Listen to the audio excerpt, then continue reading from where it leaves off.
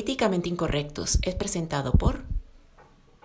Ser clavadista profesional y de riesgo es un sueño cumplido donde el talento, la vocación y la templanza se hacen presentes en Ricardo Montenegro, clavadista venezolano de 38 años de edad. Ricardo tiene 34 años de experiencia en saltos ornamentales, disciplina conocida también como clavados. Perteneció a la Selección Nacional de Venezuela, ha sido entrenador de la disciplina y hoy se encuentra radicado en Dubái.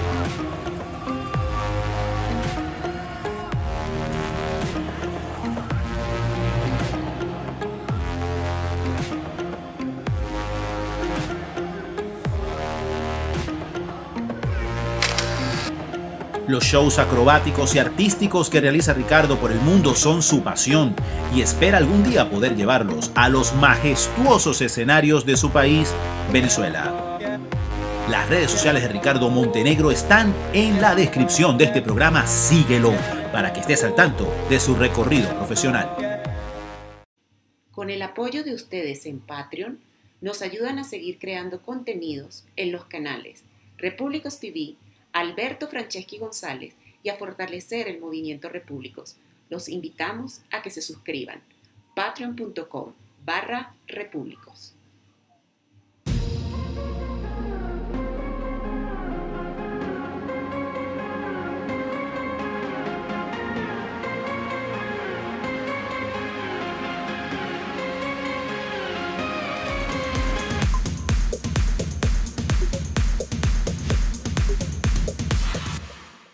Los participantes de este programa se hacen responsables de sus declaraciones y opiniones emitidas durante la transmisión.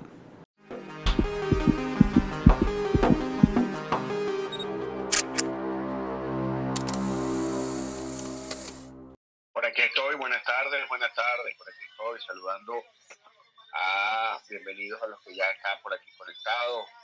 Eh, bienvenido don Miguel, don Luis, don Alberto Franceschi, buenas tardes a todos. Muchísimas Buenas tardes. gracias. Eh, Así es. Bueno, eh, denme un minutico para hacer justamente la, este, el tweet de, de este espacio ya. Yo ya puse autograbar, así que eso ya por lo menos lo adelanté. Así que denme 45 segundos, ya vuelvo.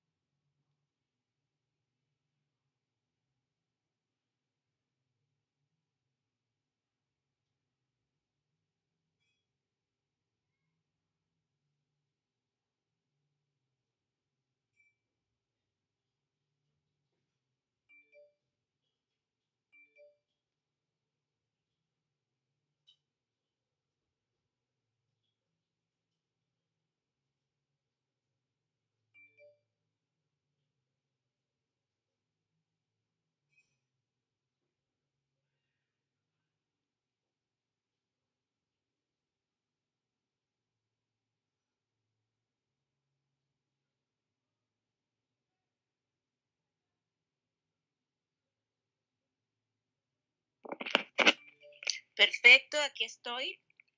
¿Me escuchan bien? Perfectamente, Joana. Bueno, muchísimas gracias. Bueno, infinitas bendiciones a nuestros hermanos, el doctor Miguel, eh, el señor Luis. Esperemos que llegue próximamente y lo más rápido posible don Ernesto. Eh, creo que Luis se cayó porque no lo veo aquí. Bueno, ya justamente hice el tweet, así que vamos, le vamos a ir diciendo, doctor Álvaro, a las personas que vayan ingresando, cuando cada uno tengamos la oportunidad de que compartan justamente el tweet que publicamos aquí en el espacio para que más personas vayan ingresando y, puedan acompañarnos. Eh, como siempre, les digo, eh, esas reglas, esas normas como de convivencia en estos espacios de tertulia que hacemos en Políticamente Incorrecto. Por los momentos vamos a estar a modo radio. Eh, si nos da chance y abrir los micrófonos después del modo radio, le pedimos a las personas que nos pidan ser hablantes y además nos levanten la manito pidiendo la palabra, que no interrumpan ni griten, máximo tres minutos de participación. Les pedimos como siempre que sean amables y educados, esperando su turno. Sabemos que aportan ideas, criterios válidos y coherentes. Y de nuevo les pido que por favor compartan este espacio. Aquí ya tienen el tweet fijado en, eh, eh, en esta transmisión, así que compártanlo, hagan el favor y compartan para que lleguen más personas. Sabemos que hay una, hay una fuerte competencia, pero es una buena competencia el día de hoy porque están este, haciendo una audiencia con respecto a lo del registrador, pero eso lo vamos a hablar más adelante. Así que está, reñido y está competido el space de hoy. Así que por eso le pedimos a las personas que por favor nos, nos, que nos compartan el espacio para que lleguen más personas. Entonces, doctor Álvaro, con esta introducción de siempre, le entrego el testigo y bienvenidos a estos grandes invitados de siempre, que es un orgullo tenerlos aquí, es un honor para nosotros tener aquí a don Ernesto, al señor Luis, a Miguel y miles de bendiciones, miles de bendiciones. Venezuela, nosotros estamos con Colombia, los repúblicos estamos con Colombia. Así es, así es. Muy buenas tardes. Yo me siento sumamente eh, complacido de, poder tener nuevamente aquí a, estos grandes invitados que tuvimos la semana pasada. Estamos haciendo hoy la continuación de lo que fue este, el programa anterior con don Miguel Ángel, con don Ernesto Rayave y con Luis Perdomo. Este, tuvimos petición porque se alargara aquel programa que no pudimos, pero como sabemos que hay temas que, que, son dinámicos, que cada día se generan nuevas noticias, que cada día este, generan nuevas opiniones. Este, este segundo programa es más que conveniente, súper oportuno ante ya las inminentes elecciones de eh, la República de Colombia. Así que bienvenidos de nuevo a nuestros tres excelentes invitados de la semana pasada. Hoy vamos a tener un gran programa y pues eh, comencemos, comencemos. Em, a ustedes tres em, quisiera preguntarle, veremos cómo, cómo eh, deciden intervenir para ver ya con números eh, puestos sobre la mesa y con los analistas desbocados en hacer análisis sobre lo que es la situación actual del gobierno colombiano. ¿Qué nos pueden decir ustedes? ¿Qué nos pueden compartir acerca de lo que es la economía colombiana? ¿Cómo es su tasa de crecimiento?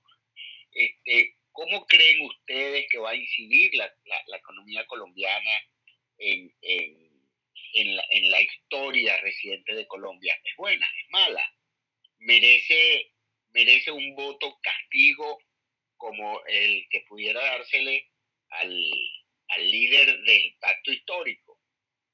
Entonces, vamos a hablar un poco, vamos a hablar un poco acerca del desarrollo agropecuario, de las industrias extractivas, del petróleo, del carbón, de la minería. Adelante. Bueno, Ernesto quiere arrancar, por favor. Pues es un honor, un halago suyo. Yo preferiría que fuera el doctor Lacouture o tú. Pero a ver, gracias, gracias por la invitación. Eh, yo pienso que la economía nuestra, y, lo voy a poner, eh, por ahí me dijeron que yo era muy, muy ah, ácido. Alguien dijo que yo era, no se me va la palabra, pero la verdad es que es mejor decir las cosas por su nombre y no ponerse uno, irse al eje y no por las ramas.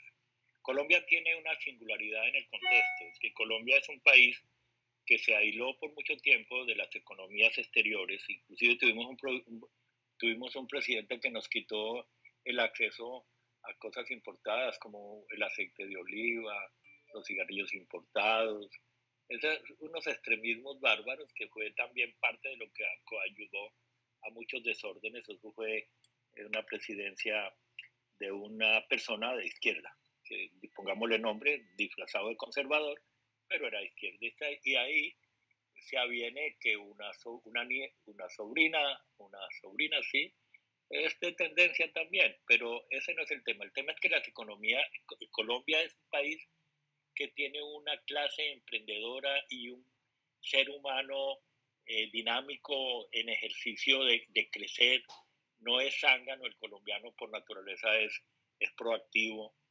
Y a pesar de los índices que son favorables dentro de todas las dificultades a nivel global, alcanza hasta para que se la roben y ahora toda la plata de los, del pueblo está en manos de los bandidos. eso no, no hay duda y si alguien eh, tiene alguna inquietud al respecto, me lo dice. Con relación a mi a mi disertación, yo había preparado un tema que me parece álgido, que lo conocí desde el comienzo, vivo en el país donde eso se generó, es eh, aprovechando eh, una, una, eh, el nombre de un cacique, que es el cacique Iskatsu, que lo sintetizaron en Iskazú, y me preparé para disertar sobre el tema, pero veo que ya eh, fuera de lugar porque la Corte, el, Senado lo rechazó.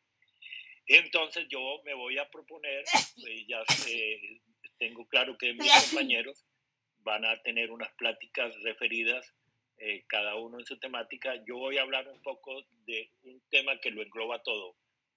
Patria, familia y lenguaje, idioma. Y ahí dentro de esas miraremos un poco aspectos filosóficos, un poco de academia y, y, lo que concierne a, a, las inclusiones lingüísticas, que lo que han hecho es de, de componer el conocimiento etimológico y, las oraciones ya no tienen el mismo valor de comprensión y ahí es donde empieza todo el desorden. También quiero exponer un poco sobre los supremacismos, el inclusivismo y, y propuestas de mejoramiento al futuro pero para terminar esta parte, les voy a dar una inquietud que tiene que ver con algo que me autorizaron ponerlo en contexto, y es que la composición de la palabra amor nunca ha, para mí ha significado lo que, desde que la conozco en su etimología, lo que le damos en el contexto de identidad. La palabra amor, lo dejo porque luego viene esa otra parte cuando me corresponda. La palabra amor viene de de mor, que en latín es muerte, y el prefijo a lo que significa es vivir sin muerte. Por consecuencia, vivir sin muerte no es vivir enamorado, ni, ni, mandar flores, ni mandar rosas, sino vivir intensamente. Cuando tú, no vives, cuando tú no tienes la muerte en tu desarrollo cotidiano, tú admiras todo lo natural, la hermosura de la naturaleza. Yo he aprendido a convalidar para salirme del marco de las religiones. Yo tengo mi dogma, pero para salirme del marco de las religiones, porque las religiones las considero oprobiosas en el sentido de que son más manejadas por el hombre para beneficio del hombre. Eh, y con la fe que se juega, porque la gente no tiene la culpa. Y cuando no conocemos inclusive la razón del ser, de la, del idioma que hablamos, tampoco entendemos en su origen la profundidad de su significado. Pero eh, vivir sin muerte implica que si nacemos para nacemos para crecer, desarrollar vida y morir. Ahí se, ahí se, contextualiza todo.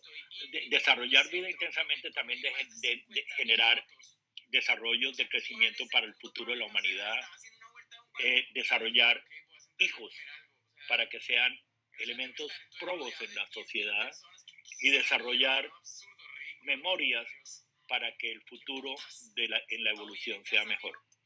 Ahí les dejo, ahí les dejo esto, voy a, a, darles paso, muchas gracias por la deferencia y adelante ustedes con, con el space.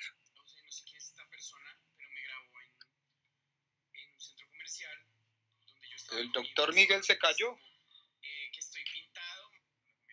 Sí, parece que el doctor Miguel se cayó. Bueno. Eh,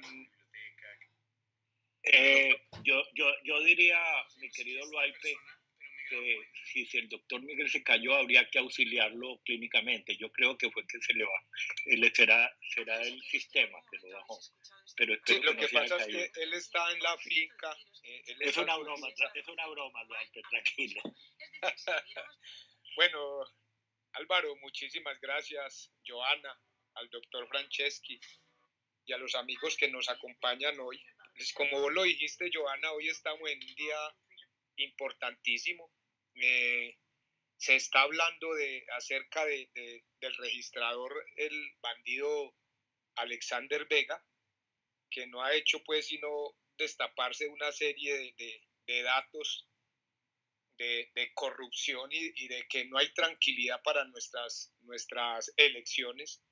Entonces eh, se llevó, hoy estaba declarando el, el, presidente Pastrana desde España, haciendo las interrogantes que viene haciendo hace alrededor de unos dos meses, preguntándole, disculpen que me, extienda como por ese lado y ya voy a la parte económica, pero quería hacerles esa introducción porque eh, desde España él vuelve y le repite los interrogantes al abogado del magistrado, del, del registrador Vega, y no han hecho sino dilatar dichas, dichas preguntas. Si se reunió o no se reunió con directivos de Indra en España, si hubo una reunión tipo 9 de la mañana en un hotel en España y, y esas preguntas no se han respondido.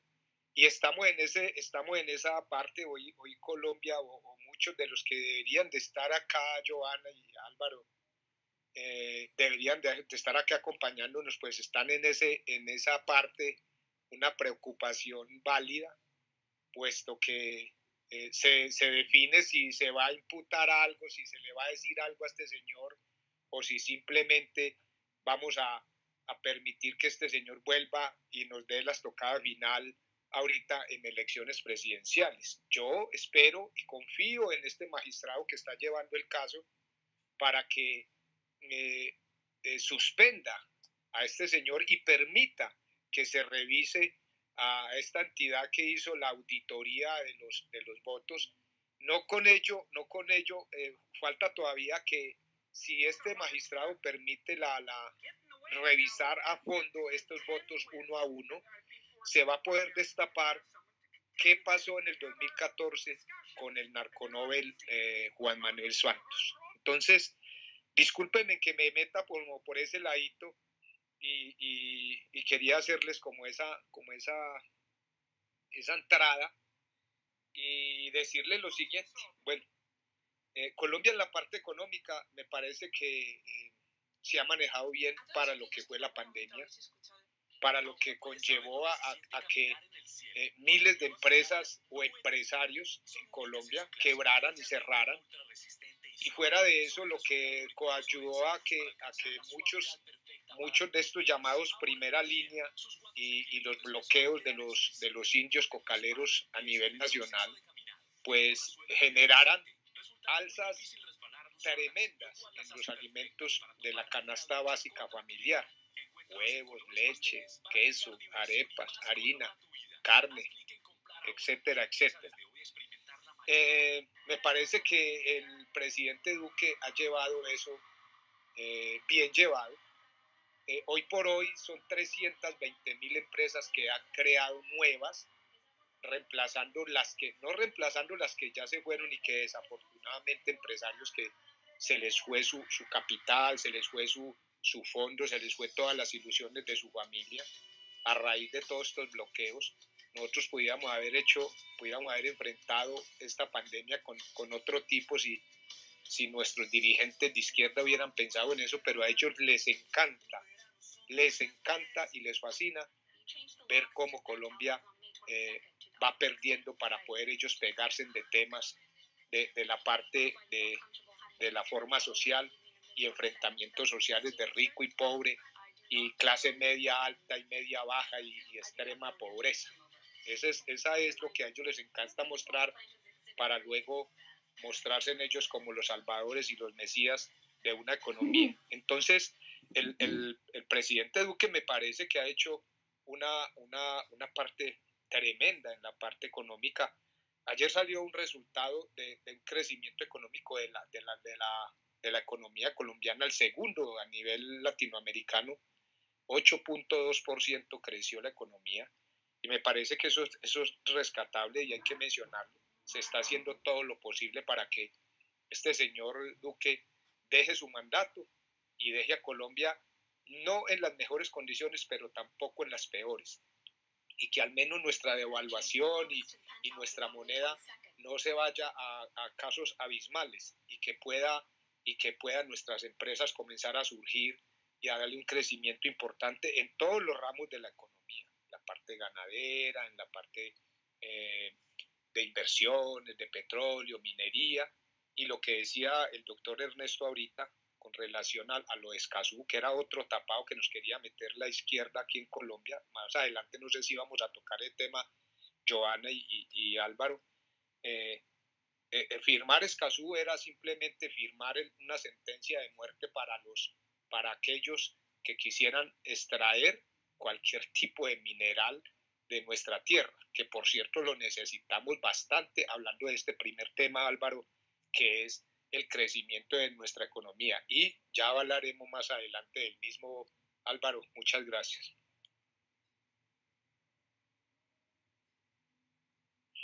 Sí, entiendo, entiendo que la economía colombiana subió incluso por encima de las expectativas.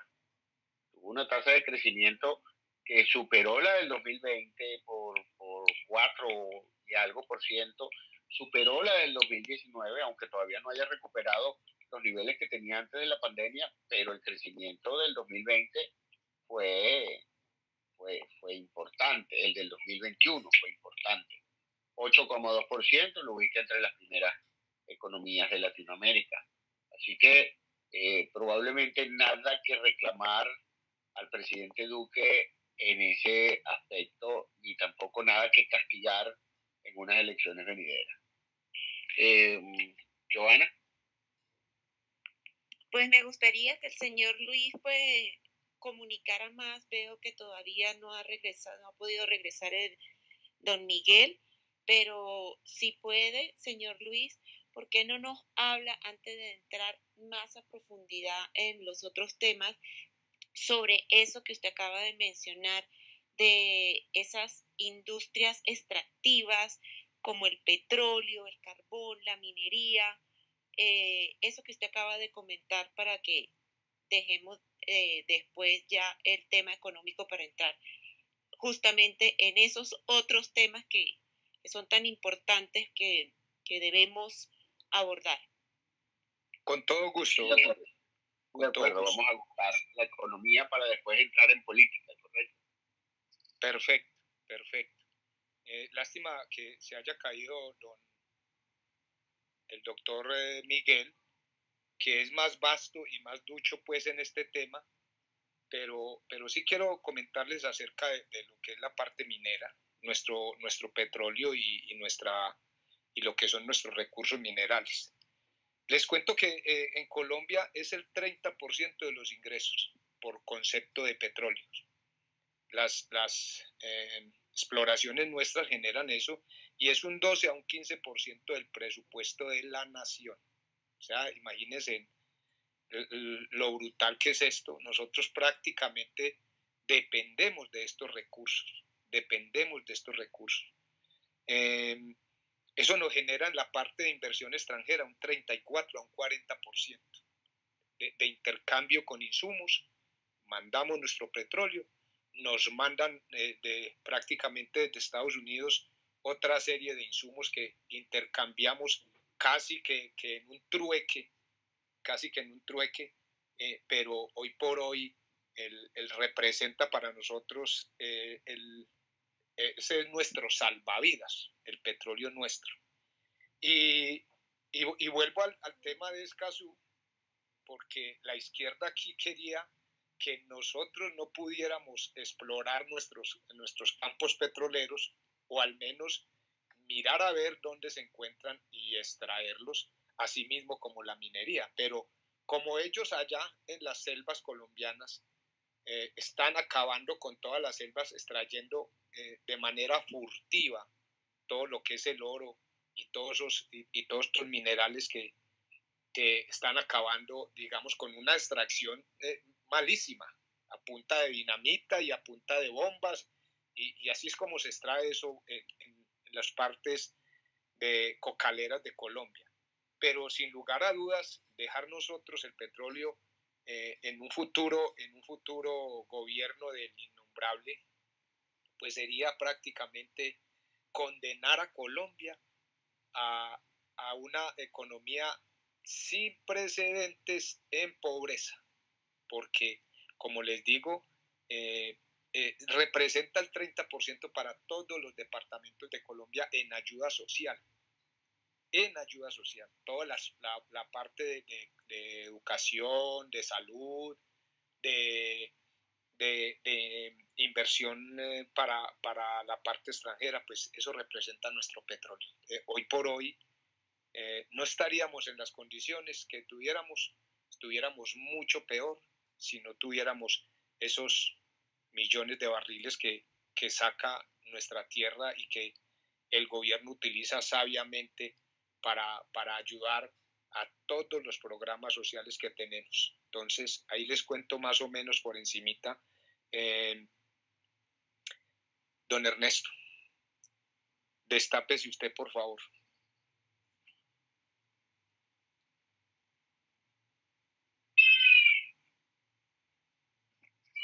Antes, de que don Ernesto, que ya veo que está por allí llegando, eh, quería decirles que, eso del acuerdo de Escazú, que Piñera se negó a firmar, por cierto, por allá en Chile, eh, está muy bien que hasta ahora Colombia no haya ratificado su contenido, porque más que ser un contrato, un acuerdo como que para como que para preservar los parámetros ambientales, me parece a mí como que una punta de lanza para poder llegar a, la agenda del 2030.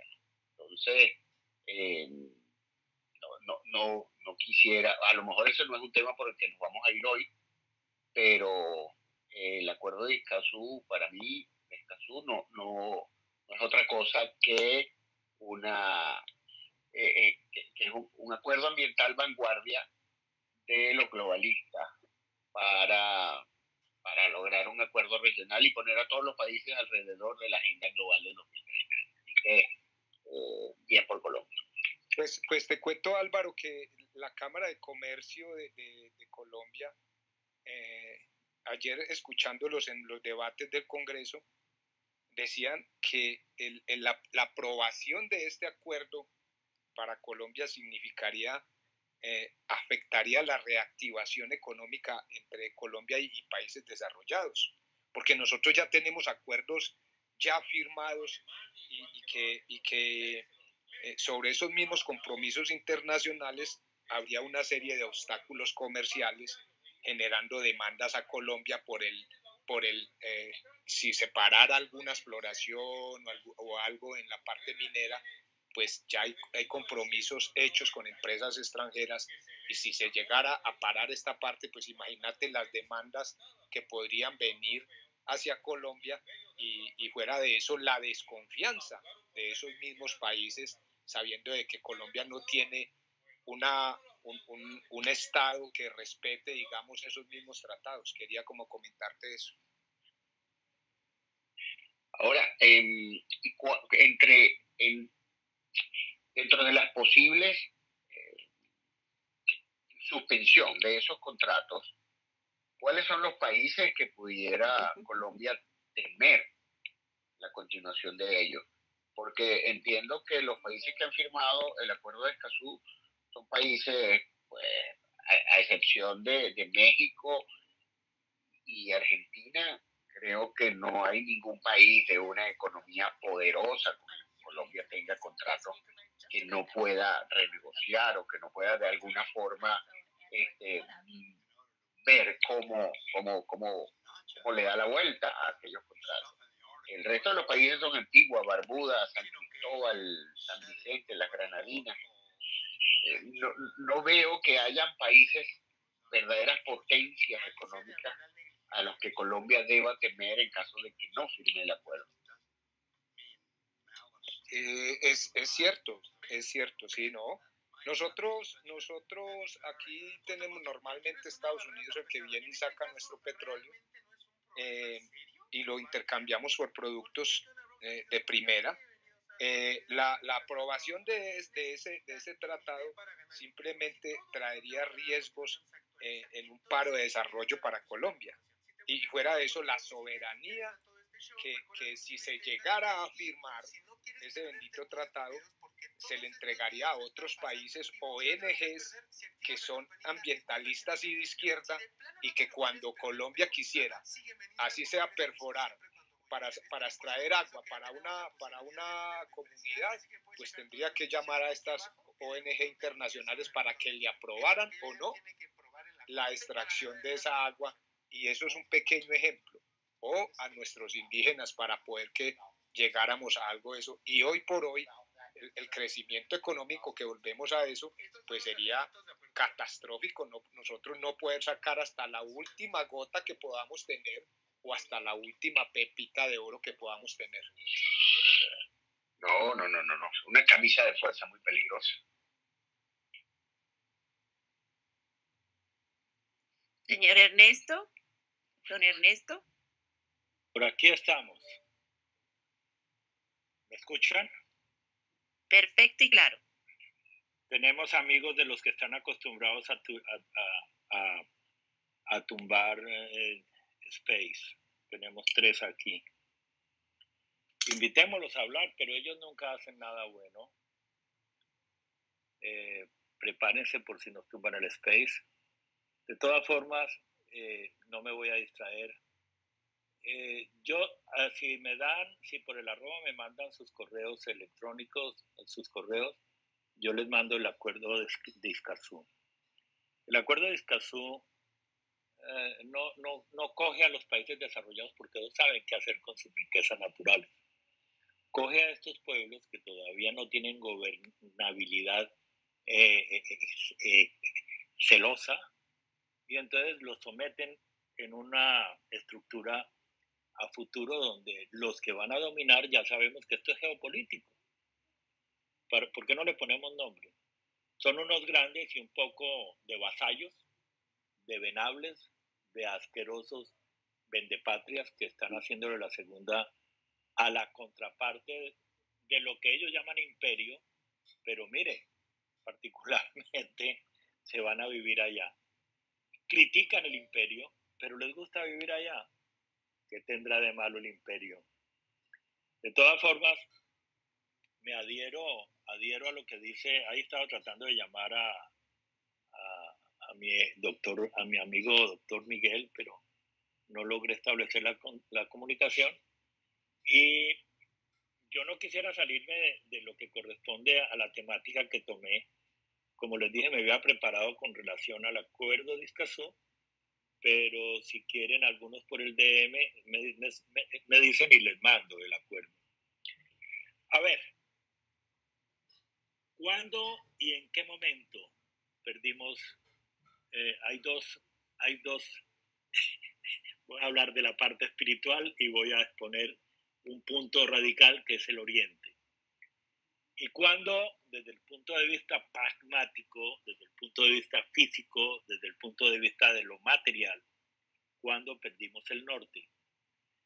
Cuando nos distorsionan y cuando la familia deja de significar en el entorno social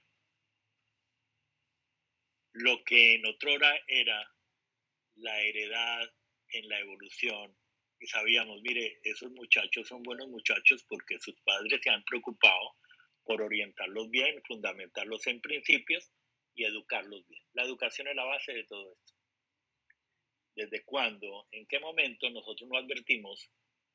Ah, yo no voy a dejar de decirles, hablé de la palabra amor y hice un poemita que se lo, se lo presenté a, a una persona muy especial y a un amigo que no es tan poema, es, es una composición que habla que después de la tempestad, sin, sin evocar nada de eso, viene la calma, pero que al final se verá la luz y podremos entender qué está pasando realmente cuando nosotros somos consecuentes de todo lo que está pasando. Hemos sido indolentes, indiferentes, y en la medida en que la indolencia y la indiferencia solo satisfaga los apetitos de los voraces, de los vivos, y estemos persiguiendo políticos porque nos dan un plato de, voy a emplear cualquier palabra, un, tamal, cualquier cosa, y que la gente no tenga conciencia de que lo más sagrado y que por lo que van es por su futuro, y la gente vende el futuro por un tamal, una teja de zinc, dos bultos de cemento. El día que acabemos con eso, podríamos decir, empezamos a reconstruir el futuro. Todo empieza por la inclusión idiomática. Nos han arrebatado la lengua, nos han arrebatado el idioma y a decir cualquier cosa con cualquier cosa es cualquier cosa y nos entendemos, porque estamos en un momento muy crítico donde ya la probidad lingüística con su razón de ser, anteriormente decíamos la fuerza de la palabra y no solamente estaba impuesta en la oración y, en, en la composición de la misma, sino también de la palabra del ser humano. Tenía valor. ¿En qué momento perdió el valor? Hay unas subdivisiones de lo, de lo, natural para enredar y descontextualizar. Y tenemos claro qué son los sismos. Los sismos es una forma nueva, novedosa de, eh, de, de adoctrinar. Esto es como una escuela donde nos van preestableciendo unas nuevas formas porque pareciera que las que prevalecían y las que estaban estaban malas. Y mientras nosotros no entremos en la discusión de que el equilibrio, como decía Miguel Unamuno, es el dorado punto medio donde el espíritu y la materia tienen singularidad, equidad, equilibrio. No, nosotros no, nosotros somos ahora una comunidad más entregada a la materia que al espíritu, sin, sin decir que el espíritu sea necesariamente religioso. Yo soy antirreligioso, soy dogmático, pero además creo por encima inclusive del dogma, que el dogma, el dogma tiene una escuela y un estudio y una difusión, y hay que tener en cuenta que la mayoría de las religiones son prosélitas y hay algunas que no son prosélitas porque se avienen de percibir y recibir y transmitir que van mucho más allá al nivel de entender que hay un alma universal y entendamos por alma toda la fuente de la máxima energía que existe y domina con rigor la existencia. Hay un poemita pequeñito que le voy a quitar unas palabritas, pero lo voy a expresar en lo mínimo de la singularidad, y es, la vida es un misterio que me anula y me conforta, mentira verdadera que me embarga, Dudo si la soporta o me soporta si es breve peso o excesiva carga, pues sé que a la postre acabará conmigo, pero a pesar de todo lo defiendo. Hay una parte de esto que omití que dice, vine a trascender, vine a crecer, a hacer que crezca. Si, imitáramos un día, puse un trino que me, me, llené de, me llené de ese trino. Si nosotros imitáramos más los animales y dejamos de ser tan racionales, de pronto le haríamos menos daño al planeta y nos haríamos menos daños a nosotros mismos. Hay hombres conejo, hay hombres lagarto, hay hombres insecto, y ustedes los encuentran todos los días. Hay, hay felinos, hay caninos, hay camélidos, y ustedes los encuentran porque son un universo de formas que nosotros podemos hacer referencial. Cuando hablo del alma universal, y si pudiéramos abrir la interfaz del cerebro, así como en las máquinas, las computadoras, recibir esa energía positiva y la retransmitiéramos, yo le digo cómo cambiaría el mundo porque también somos transmisores. Yo, la filosofía me dice que si hacemos las cosas en aprovechamiento de la carga positiva, mañana tendremos un mejor desarrollo. Pues, pero claro, el futuro no existe, el futuro es hoy. Yo les pregunto al interior de ustedes, respóndame al interior de ustedes, ¿cuántos años tienen cada uno? Y estoy absolutamente seguro que van a decir, yo tengo 30, yo tengo 44, tengo 45.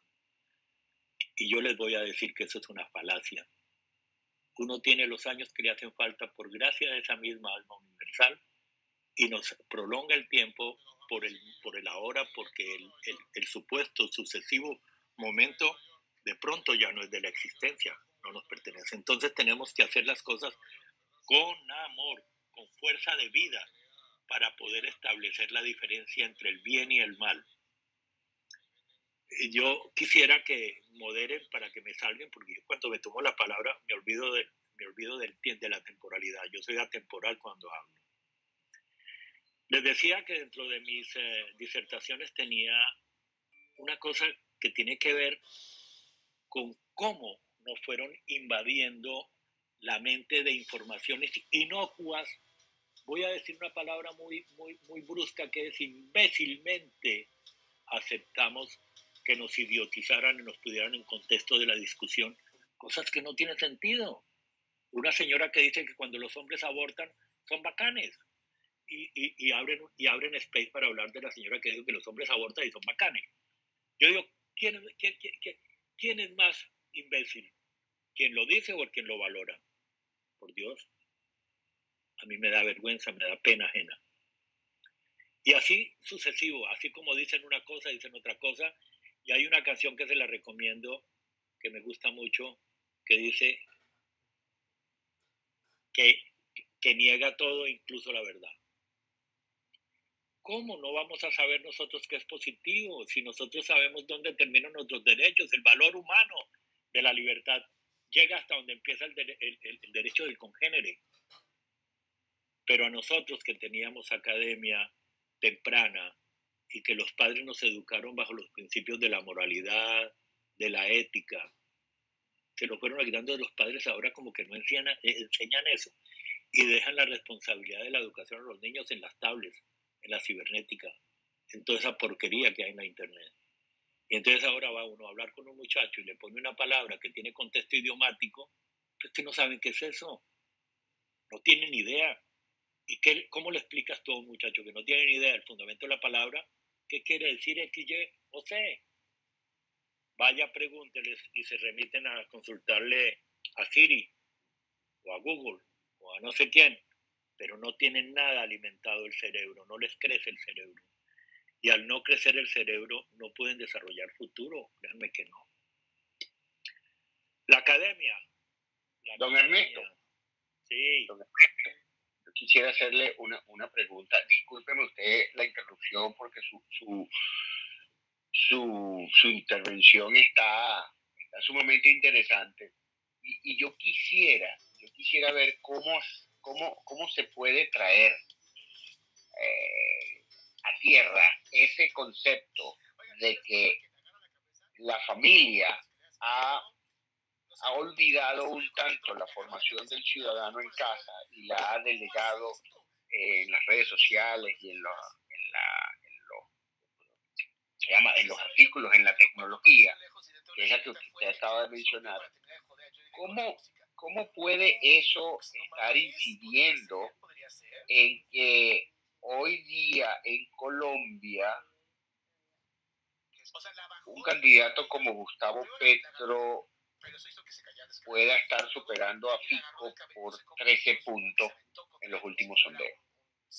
¿Qué relación puede haber entre eso, entre la poca formación que hay hoy día y el depósito que ha hecho la familia en la tecnología y en las redes sociales?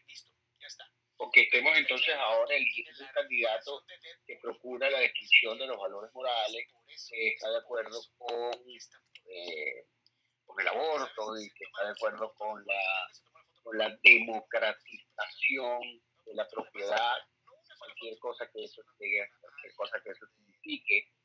Pero ¿por qué la izquierda, con tan pocos valores y con el ánimo de destrucción de la sociedad, puede estar por delante de un hombre que representa también a la derecha y izquierda? ¿Qué está relacionada? ¿Cómo, se pueden relacionar las dos cosas? Bueno, si me permites, eh, voy a empezar inverso para volver al comienzo.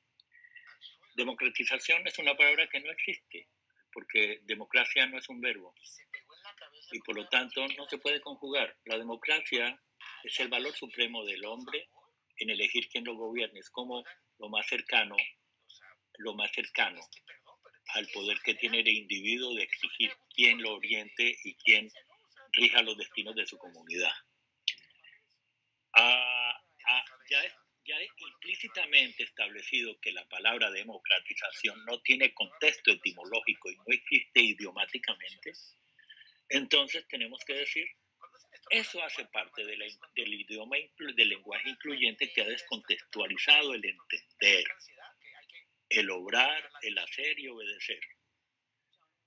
Cuando nosotros le entregamos al niño la tablet o el teléfono porque estamos ocupados en otras cosas, pero no lo preparamos previamente, somos automáticamente responsables de su futuro porque se lo dejamos a terceros. Yo sí que tengo algo que decir al respecto porque yo les, les enseñé eh, voy, a, voy a evacuar ese tema que no viene al caso, pero a pesar de que conozco mucha gente que vive muy bien en un mundo de realidades que se supone que tienen equilibrio moral, es que el equilibrio moral contrasta mucho también inclusive con la famosa oración del capitalismo, que yo la considero así, yo, cuando a mí me dicen, no, es que por aquí es la cosa, dice, pero muéstrenme un ejemplo, porque cuando a uno le hablan mucho, pero no le dan un ejemplo cierto que asiente, uno dice, ¿dónde queda la palabra? Yo también pude haber sido culebrero, yo también pude haber sido embaucador. Yo creo que de temprano me dieron una capacidad de, no de tanto del léxico, porque ese se va adquiriendo con el tiempo, sino de hablar y hablar eh, muy fácil, pero engañar con la palabra es, igualmente, porque es que hay gente que no está preparada para captar, y antes de poner de, de, frente, de plano, el análisis, la cognitiva, ponen la, omiten todo eso y ponen son las emociones, el creer en deidades.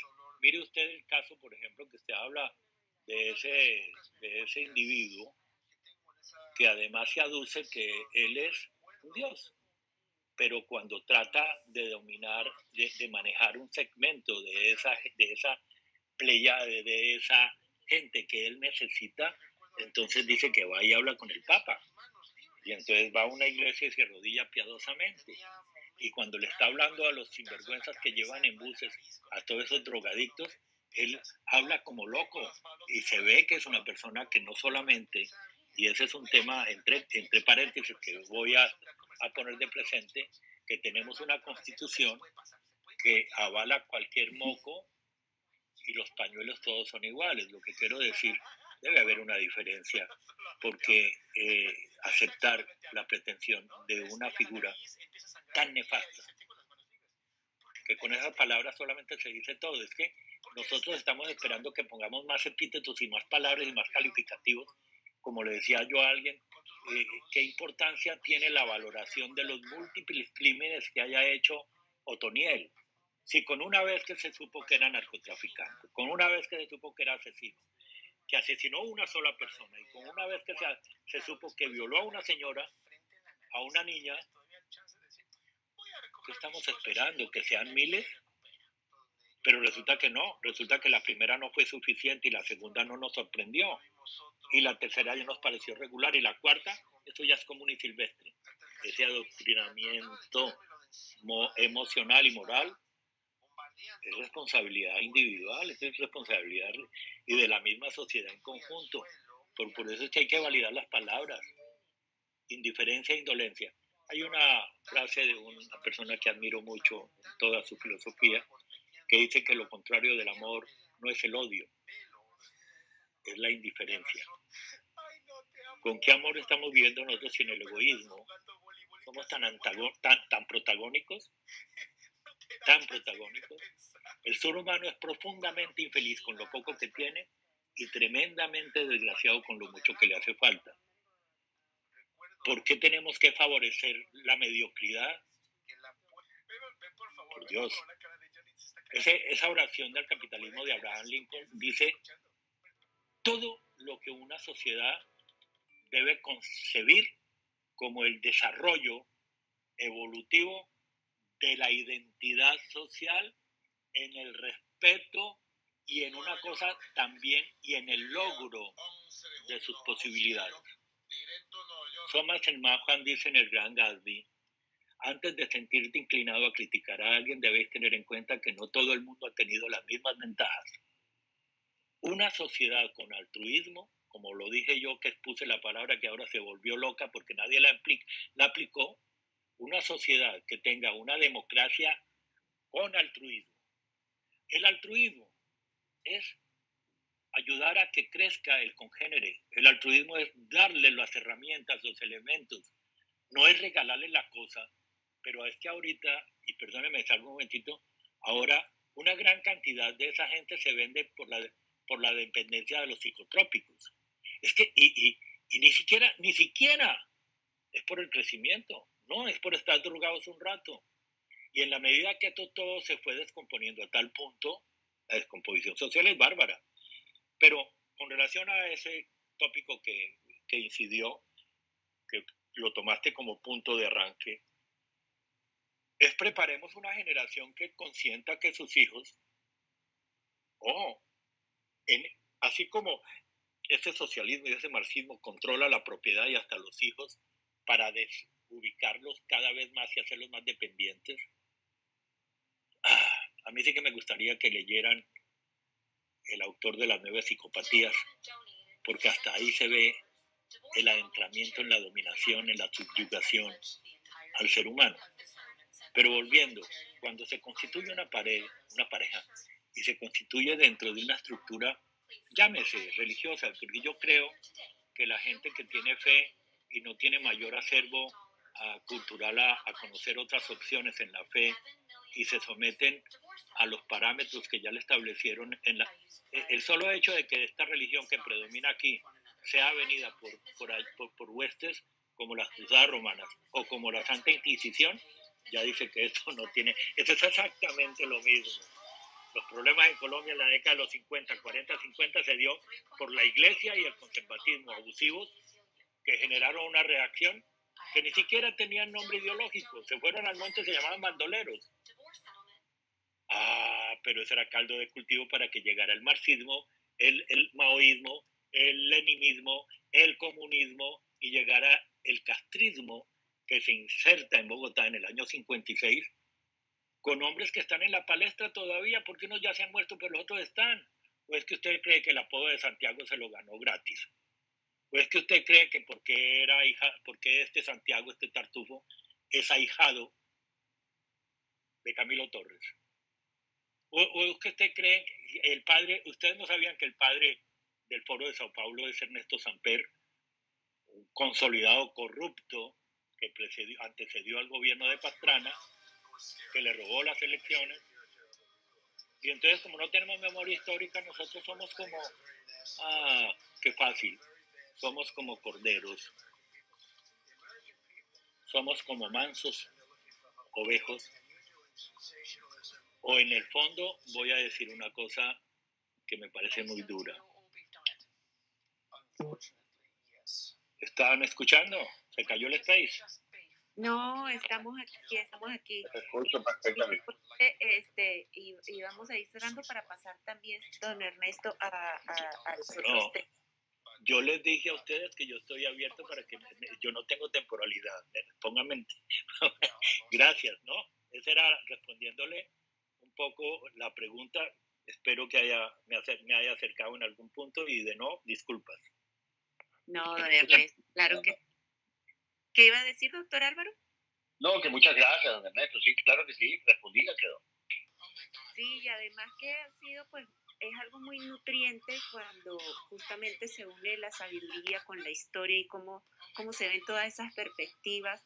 Eh, cuando íbamos desglosando después de hablar de, de, la parte económica para llegar a esto, o sea, me parece pues interesante y muy, y muy importante a la hora de compartir todo esto, don Ernesto.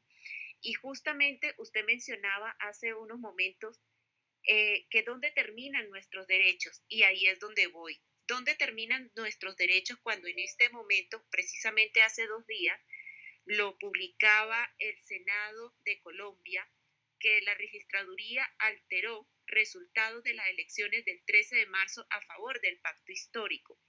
Y por ello les compartí aquí un tuit de la senadora María Fernanda Cabal, donde hace aproximadamente unas 16 horas eh, ella hablaba sobre este, esta publicación justamente y por ello eh, es lo que está sucediendo hoy y hay muchas personas que están en otro space justamente viendo eh, eso, ese, ese momento que nos mencionaba al principio también el señor Luis.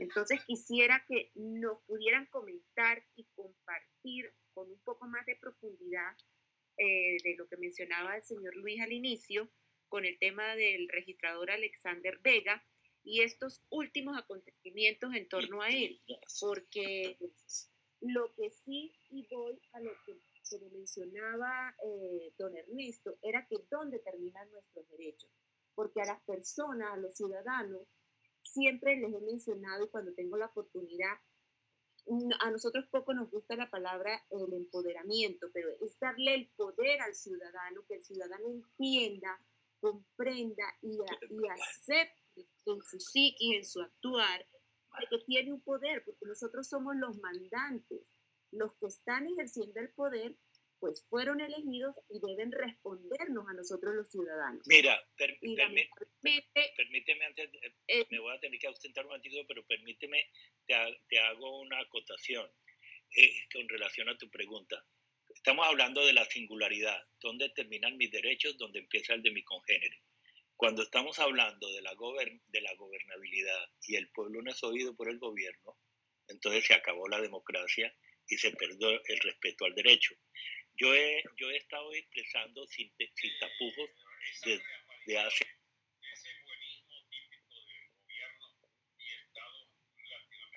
Se quedó en silencio. Desde cuando se desarrolló. ¿Escuchan? Sí, señor, ahora la sí. La plutocracia en sus orígenes era el poder del capital, el poder fuerte sobre el puerto, sobre, sobre el pueblo.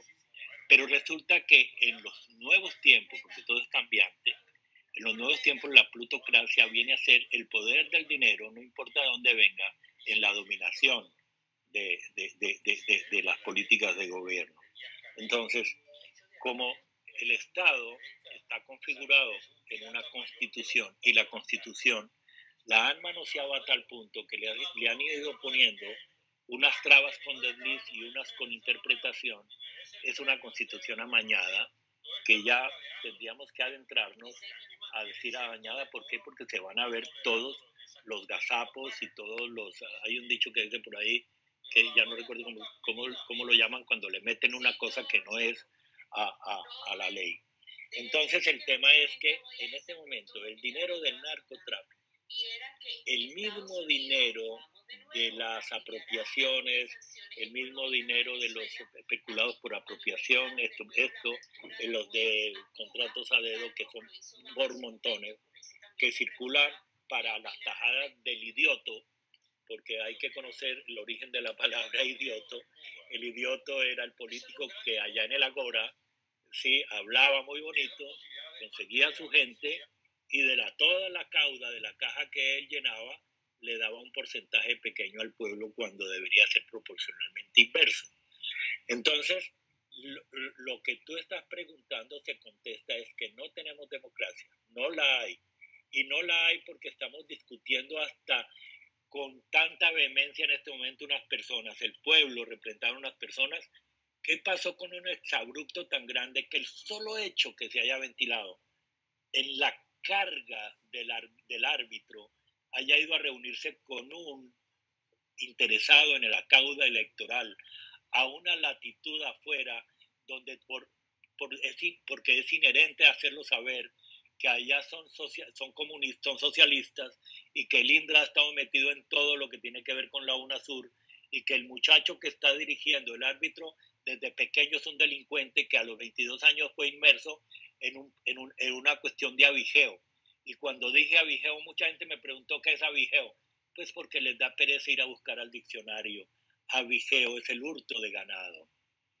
Ok, entonces después viene que su papá fue inmerso y, su papá y su papá fue inmerso y no solamente fue condenado en una, en una cuestión de venta y compra de votos. Y, y, si eso no es suficiente para que él no conozca y sea el árbitro, es que él es un convidado de piedra, él es un pintado, tan pintado, ¿me escuchan? ¿Me escuchan? Sí, tan pintado es el hombre que no ha habido tiempo, el CNE no ha tenido tiempo de validar todas las demandas de carga con prueba suficiente.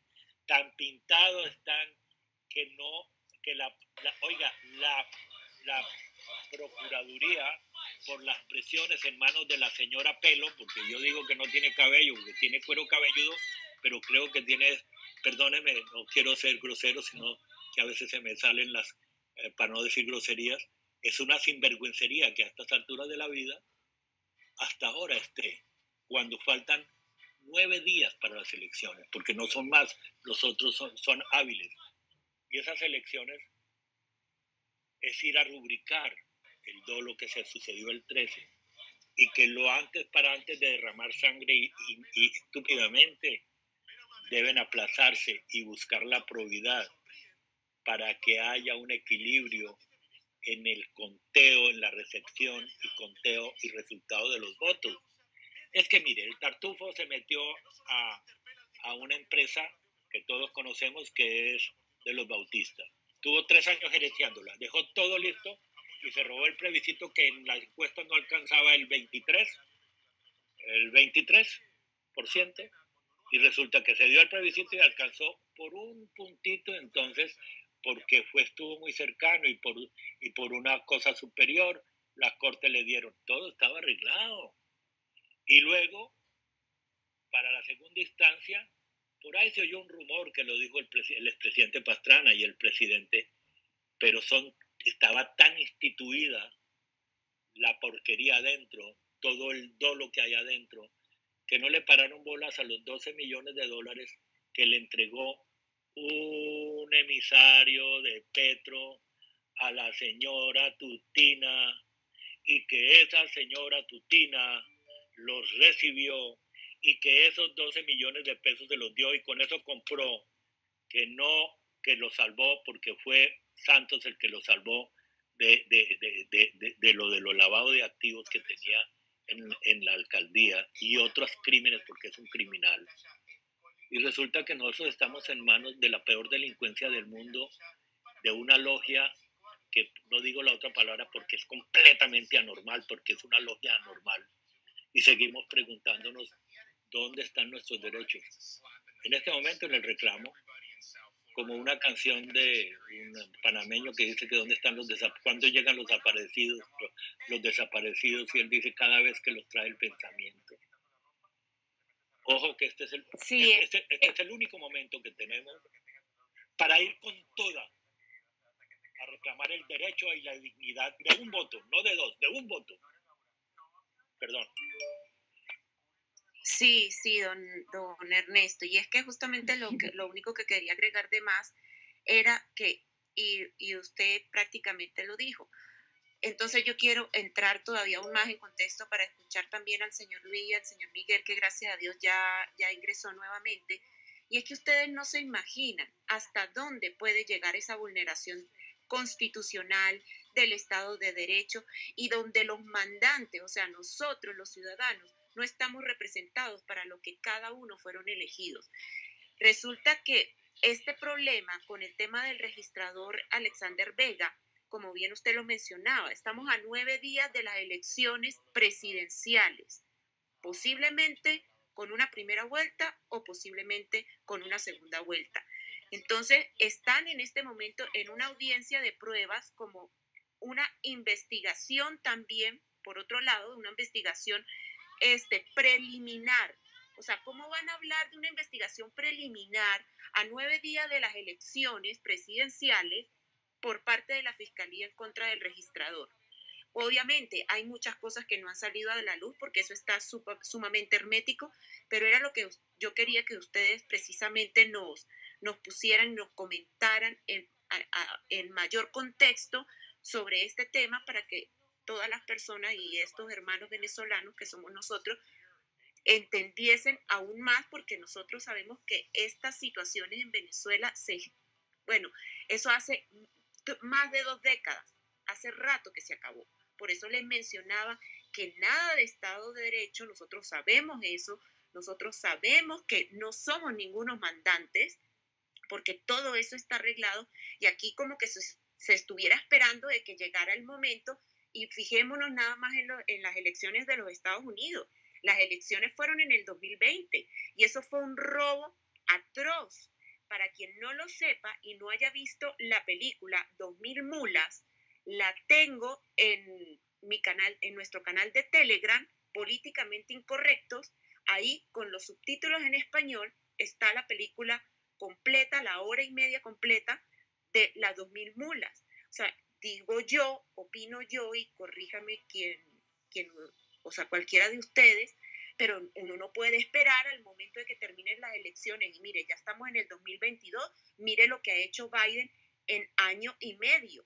Nosotros hemos hablado desde la semana pasada en, este space, que es la segunda parte, la continuación. La próxima semana será la tercera parte y la, y la cuarta entrega será el miércoles después de las elecciones, como acordamos. Pero, ¿cómo esperar años cuando entonces vamos a esperar un proceso de absolutamente destrucción? Y bien lo mencionaba el doctor Álvaro hace ocho días. O sea, ya sabemos, porque es de anteojito, de antemano, que este señor se ha ahorrado años y al momento de que nefastamente, si llega al poder, Virgen Santísima, este innombrable, en seis meses nos va a tener en un caos aquí en Colombia. Era lo que quería agregar. No sé qué opina el señor Miguel y el señor Luis. Mira, lo primero que tengo que pedirles es excusas, dado que estoy en una área de una cobertura muy pobre y me pegué una caída que casi inescalable. Entonces, de antemano excusas. Lo segundo, que es lo más importante de todo esto, he dicho, he repetido en reiteradas intervenciones en diferentes medios de comunicación.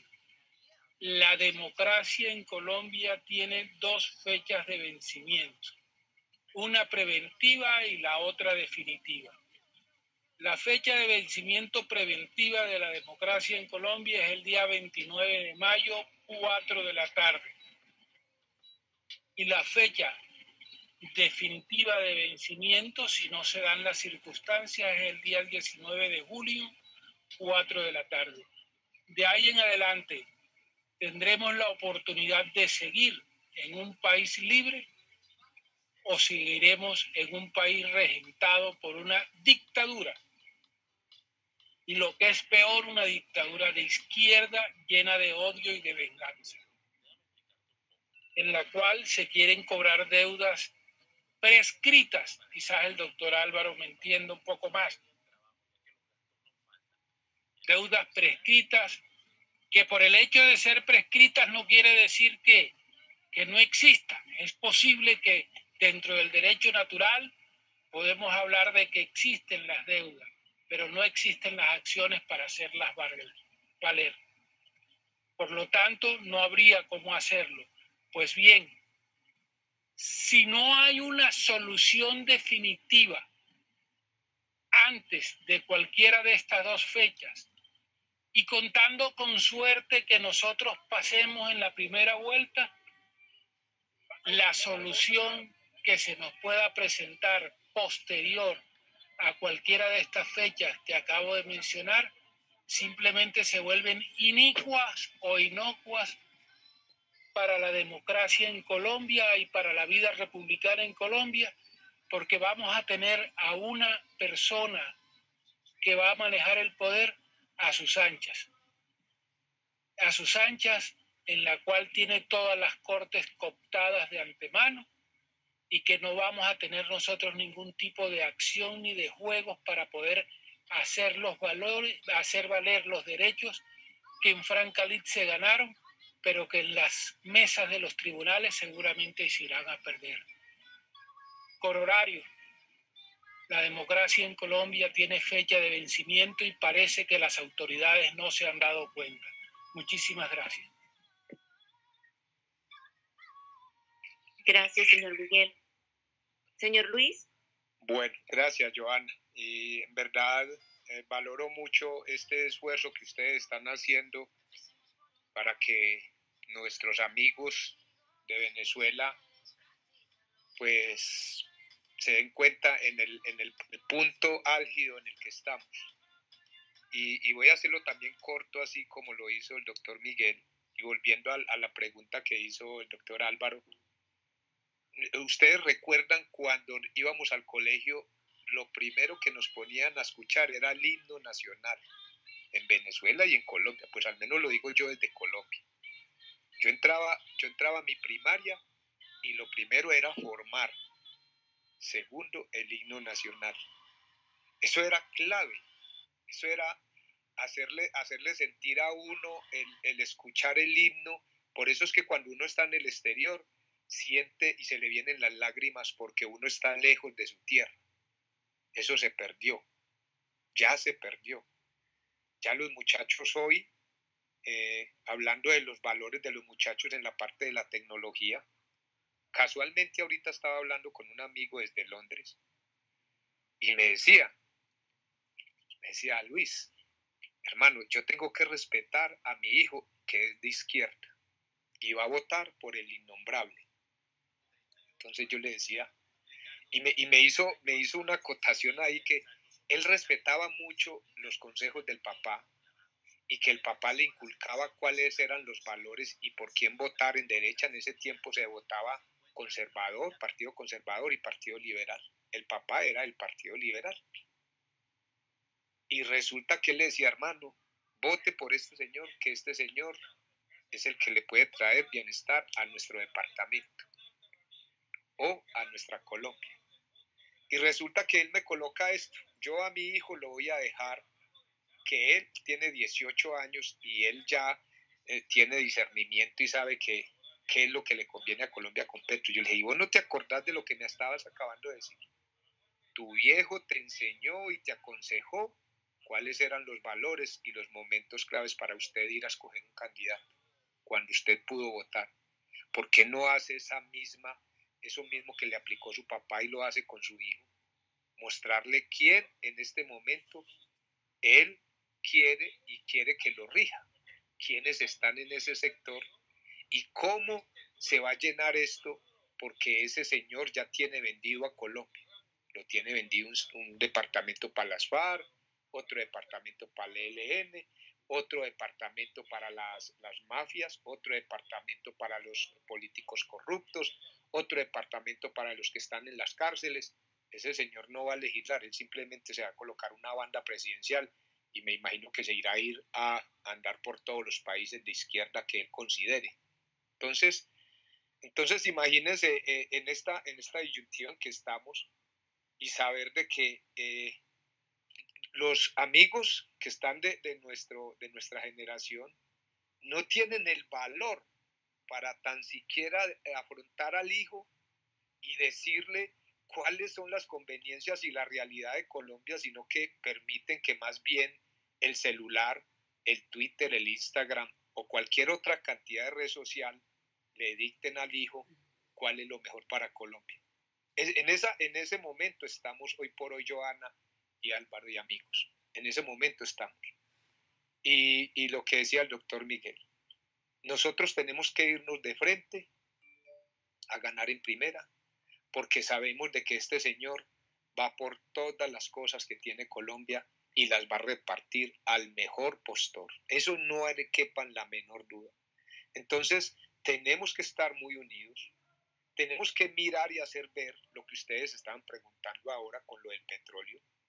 que ahí el doctor Miguel no estuvo, la parte del agro, que el doctor Miguel es experto en esa parte, la parte ganadera y esa parte, eh, es importantísimo saber eso, qué nos depara en el futuro para Colombia, para nuestros hijos, y si mi amigo desde Londres permite que su hijo escoja libremente allá, sin, sin ser capaz de, de enseñarle o al menos decirle un consejo, que es lo mínimo que puede hacer, lo mínimo. Entonces, ¿de qué estamos hablando aquí en Colombia? Afortunadamente, hay gente que todavía cree en nosotros, hay gente que cree en nuestra democracia y yo creo que sin lugar a dudas nos vamos a mantener en ella porque están en peligro con las caletas y los dineros del narcotráfico, pero superamos una vez el plebiscito con toda la mermelada del, del Juan Manuel Santos. Eran millones de dólares los que repartió y el no ganó. Se nos lo robaron, es otra cosa, pero ganó el no. Por encima de eso, hoy podemos volver a demostrar que Colombia le dice no al narcotráfico, a la muerte y a las guerrillas. Gracias, Joana y Álvaro. Gracias, señor Luis. Doctor Álvaro, seguimos con la siguiente pregunta, que nos quedan dos, por favor. Claro, claro que sí. Bueno, entonces volvamos a, la, parte política. A mí me llamó mucho la atención unas declaraciones que dio la fórmula vicepresidencial de, de, Gustavo Petro, la señora Francia Márquez. Francia Márquez este, dijo, yo creo que hay un tanto de, de ignorancia en ello y una gran, una inmensa una inmensa convicción de que el mercado hacia, hacia el que ella se dirige es más ignorante que ella.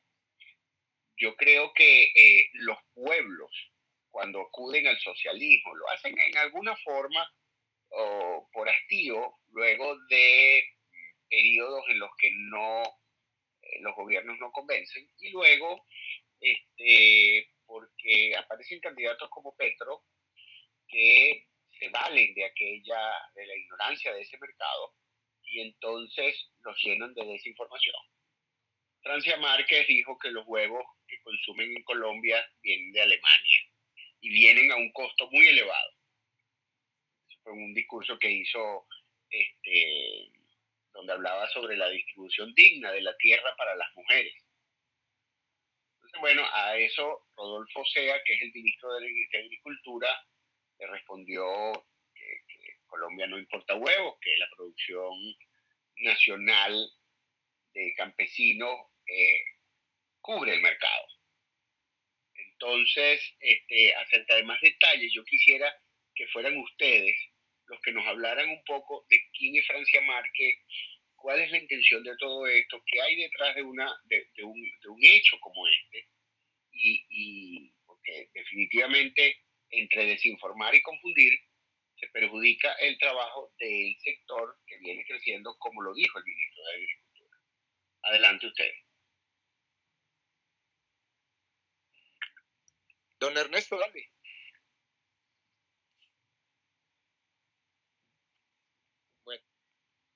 No sé si don Ernesto está ahí. Bueno, yo, yo sí quería... No, no, estoy hablando. Dame un momentito que me, me, volví a salir de... Bueno, ahora sí. ¿Me escuchan? ¿Me escuchan? Sí, sí, sí, alto y claro. A ver, ¿qué es lo que pasa con eso? Esa distorsión de lo que para nosotros es correcto, para los demás es oración. Lo que para nosotros entendemos, para, para los otros es una cosa novedosa. ¡Wow! No sabíamos que venían de allá. Y entonces con eso se endiosan porque le hablan a un segmento de la sociedad, partiendo del principio que ahora nos tienen sectorizados. Los indígenas no son humanos, son una raza aparte. Los negros afrodescendientes no son humanos, son otra, otro, otro, otro espécimen. Y así sucesivamente. Entonces nos tienen sectorizados.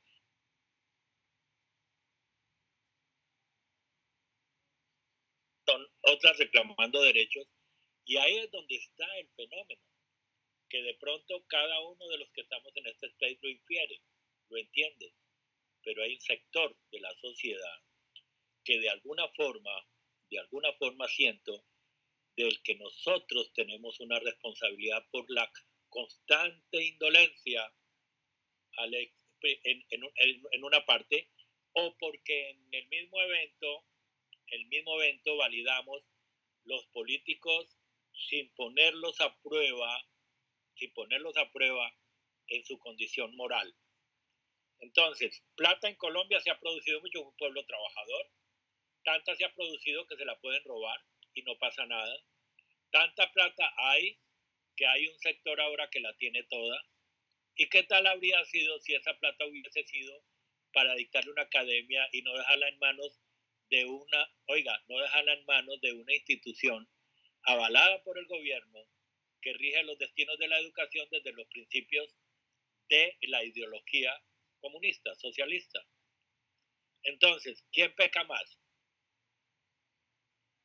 ¿El que peca por omisión o el que peca por acción? Y todos estamos comprometidos en esto. Por Dios, es, una, es un reconsidere y piense y restablecer unas nuevas de orden. Unas nuevas de orden. Porque la que tenemos está sesgada y acomodada para que sea a la inversa. La moralidad no existe ya en principio. Hay una canción de un tango que es de discípulo de Santos Discípulos de 1928 que llaman de Cambalache y que si algún muchacho no la ha escuchado, escúchela y alguno mayor tampoco escúchela porque dice siglo XX Cambalache problemático y febril. Y entonces ahí viene el que, el que ahora se invirtieron los valores. Ojalá la escuchen, porque ahí les va a decir lo que ya había dicho Friedrich Nietzsche en la inversión de los valores hace muchos siglos suficientes. Pero no, estamos adormilados, no que no pasa nada, como con el COVID no pasa nada, la señora que no pasa nada, por ahí salió una, un TikTok, y yo les digo, ah, es hora ya de despertar, démonos cada uno individualmente en la mente, demos, démonos una cachetada de despertar, y eso es lo que creo que cumplen estos space con la gente como ustedes están aportando al despertar. ¿Por qué nos tienen que decir qué, qué, periódico no está comprado? Eso ya se acabó, es el poder del dinero. Ahora, ¿qué nos tienen que decir? A mí me parece lo más inteligente que ha dicho una persona que salió a un space.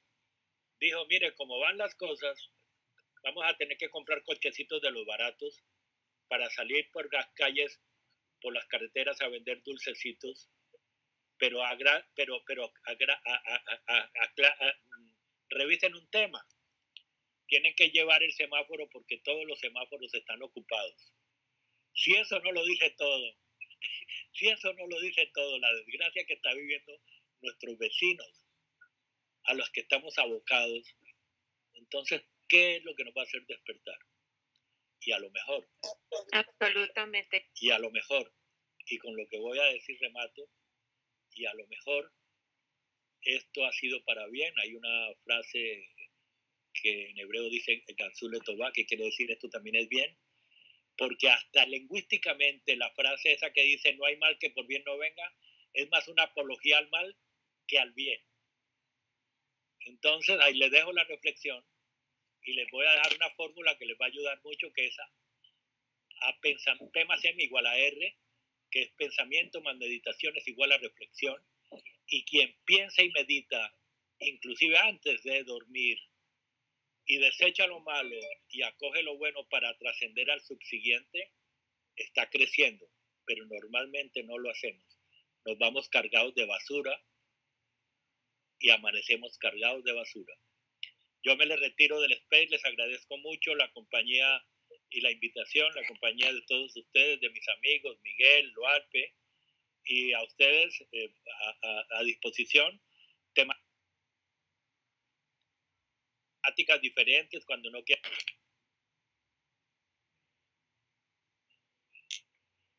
Que Se escuchó lo último que sea de filosofía, que sea de literatura,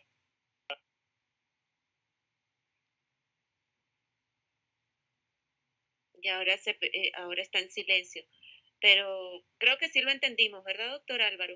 No sé si el señor Luis tiene algo más para agregar con respecto a esto, que nos queda un tema más. Muy cortico. Eh, sin lugar a dudas, la, ignorancia de, la vicepresidenta del Pacto Histórico, Francia Márquez, con relación a los huevos eh, traídos desde Venezuela, eh, no es más que eso, ignorancia total, porque aquí FENAVI saca alrededor de 17 millones de, de, huevos para, para, el producto colombiano. Y, y, lo mismo la yuca, que mencionaba ella, la yuca y la papa. Eso no se puede dar en esos países industrializados. Ellos se ocupan de, de hacer industria, de crear maquinaria, de construir Ferraris, de construir tractores. Y nosotros de, de sacar hortalizas, frutas y todo lo que conlleva la alimentación. Por eso es que ellos vienen y compran acá cosas que ellos necesitan allá. El problema no es la ignorancia de, Francia Márquez, el problema es que hay mucho ignorante que va a considerar de que nosotros traemos los huevos desde Alemania. Y fuera de eso, eh, Álvaro y Joana y amigos, pues eh, el problema es que comienzan una lucha de clases donde ellos simplemente van a hablar de que ellos van a cambiar absolutamente todo y que ellos van a hacer el producto, van a, van a conservar los huevos y los huevos se van a hacer aquí en Colombia. Esa es el, el, la cosa en que ellos se meten y muchos les va a creer pensando de que eh, la industria nacional va a crecer porque ellos van a comenzar a, a sacar los huevos para todos nosotros. Ese es el problema, Joana y amigos. Continuemos, por favor. Muchísimas gracias, señor Miguel. De hecho, que quería preguntarle, eh, eh, antes del último cuestionamiento que tenemos por el día de hoy, era que si la semana que viene podríamos hablar de cada uno de los candidatos con respecto a todo lo que tiene que ver con el globalismo, la Agenda 2030, la ideología de género, porque quisiéramos tener como, como ese perfil en lo que ustedes eh, tienen de conocimiento y, y de lectura a lo que de repente le han hecho a cada uno de los candidatos si lo pudiéramos hacer. Con seguridad que así es. Lo podemos hacer y yo creo que es un tema bastante importante eh, con los... Yo espero que eh, haya de aquí al miércoles que nos vamos a reunir, eh, yo estoy convencido que van a, van a llegar una serie de cambios. Esperemos de que de aquí al miércoles se dicte y se coloque un registrador ad hoc y saquen a este bandido de la registraduría, porque el innombrable acaba de, desde ayer hizo un tuit donde dice que respalda al registrador. Claro, ¿cómo no lo va a respaldar si el 82% de, de, las, de los votos que salieron a favor salieron a favor del pacto histórico y el otro 18% salió al resto de, partidos políticos de Colombia? Él, él, quiere respaldar eso y que si se, se, remueve a este señor va a ser un, va a ser una, una, mm, un ataque a la democracia eso sería eh, un, tiranos y bueno, todas las cosas que sacan ellos. Cuando son perjudicados, pues se van lance en ristre, pero cuando son beneficiados, pues ellos quieren mantener así. Y este señor, esperemos que de aquí al miércoles, Joana y amigos, podamos tener noticias de que este señor, este señor registrador sale definitivamente, porque no garantiza absolutamente a nadie, a nadie le garantiza a este señor en esa posición. Y esperemos que de aquí al miércoles hayan adhesiones. Yo espero de que candidatos de aquí al sector de derecha se adhieran a Federico Gutiérrez, que es hoy por hoy nuestra carta de libertad y democracia para Colombia, nuestra mayor carta y en eso no me quita a mí la menor duda, porque es un tipo que ya se conoce cómo ha, manejado a, a Medellín y esperemos que hayan muy buenas noticias y podamos hablar de pronto, Joana, de pronto tengamos que cambiar los temas, pero que sea para bien. Eso quería decirles. Muchas gracias, Joana. Ay, si Dios quiera.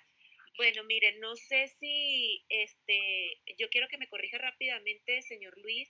¿De verdad fue que el señor Miguel se cayó? O sea, en Sí, se cayó. Lo que pasa es que él está por allá en Montería, una tierra. No, en La Guajira, en La Ah, Guajira, estás no en La. Guajira. Ah, Estás en La. Guajira, o sea, yo sé que allá la recepción es terrible, Terrible. terrible. terrible. La parte de comunicaciones es malísimo, malísimo. Sí. Entonces, seguramente es por eso que, que no nos pudo hoy aportar. Y bueno, y don Ernesto, que él, que él, él le encanta expresarse y hablar y hablar, eh, pero bueno, bienvenido todo eso. No, pero de todos modos, porque sí me alarmé un poquito porque él mencionó como que si se hubiese caído físicamente. Yo, Sí, bueno, se cayó. Eso fue lo que le Sí. entendí también, se cayó Sí, por allá. ent- por le, entendí, le eso, así que por favor, usted que tiene su, su contacto, pues yo me comunico es por DM, por Twitter, pero igual le escribiré, pero por favor dígale pues que se cuide, que no se preocupe, que con el favor de Dios tenemos dos miércoles más. Bueno, Con y en gusto. sucesivos, y en el sucesivos también. Pero mi, nuestra última pregunta para después darle el testigo al doctor Álvaro a ver qué repregunta tiene y si acaso le podemos dar el micrófono siquiera a una sola persona porque es que de verdad nos tenemos que retirar. Yo tengo hoy dos programas. Entonces, quisiera preguntarle, señor Luis, ¿qué nos puede hablar y compartir sobre las últimas noticias de justamente con el tema de las, de las campañas de cada uno de los, de los candidatos a la, a la presidencia? Porque ver cómo, cómo se está sondeando eso. Eh, nosotros, lastimosamente, en, en los últimos tiempos, las encuestas sí han terminado dando a los ganadores. Pero uno sabe muy bien que también las encuestas las gana quien las paga. Entonces, yo quisiera saber, pues, a, boca de urnas de ustedes, por parte de ustedes, qué han manejado en, en- en estos últimos días, de estos ocho días que, que teníamos sin hablar, el hecho de que cómo va el tema de las campañas electorales. Bueno, eh, te quiero decir algo. Eh, ha, sucedido, ha sucedido algo muy lamentable y es que desde hace 15 días vienen hablando desde el pacto histórico o el pacto de edad del señor de las bolsas que iban a infiltrar las campañas, al menos la de Federico Gutiérrez, por una presunta compra de votos. Cuando ellos mencionan eso de infiltrar las campañas es porque ya lo hicieron. Y hoy el día de ayer, el, el candidato Federico Gutiérrez, desde una oficina, una, una, una oficina de, de- de Federico en el poblado en Medellín, apareció una, un micrófono y una cámara. Y es muy curioso que una de las electas senadoras del pacto histórico dice que para el día 23 va a sacar a colación o, a al público una serie de, de detalles con relación a Federico Gutiérrez. Entonces, imagínate cómo se concatena todo. El abogado eh, del Río dice que va a viajar a mirar a ver cómo registra la compra de votos por parte de Federico Gutiérrez. La senadora dice que va a sacar y que ya quemaron un candidato presidencial que se llama eh, Sergio Fajardo y que el 23 van a sacar cosas de Federico Gutiérrez y resulta que ayer ap- aparece la cámara y el, y, el, y el micrófono en una de las oficinas de campaña de Federico. O sea, eh, blanco es, gallina lo pone y frito se come.